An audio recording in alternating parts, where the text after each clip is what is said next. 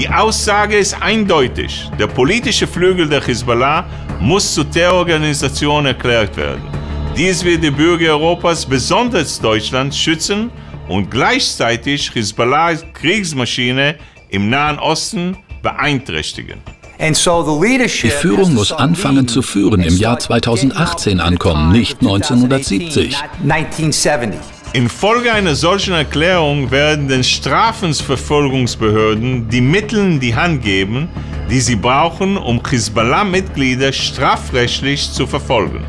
Zu diesen Mitteln zählen das Sperren von Banknoten, die Beschlagnahme von Vermögen, Sanktionen gegen Unternehmen, die Hisbollah zu Geldwäsche nützt, sowie Sanktionen gegen Mitglieder der Organisation, die sich frei auf Europas Straßen bewegen können, weil sie lediglich als Teil der politischen Flügels der Hisbollah gelten.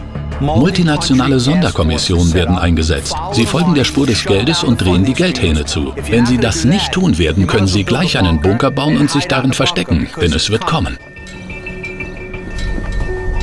Deutschland und die Europäische Union verfügen über die Macht, sie zu bekämpfen, ohne einen einzigen Schuss abzugeben.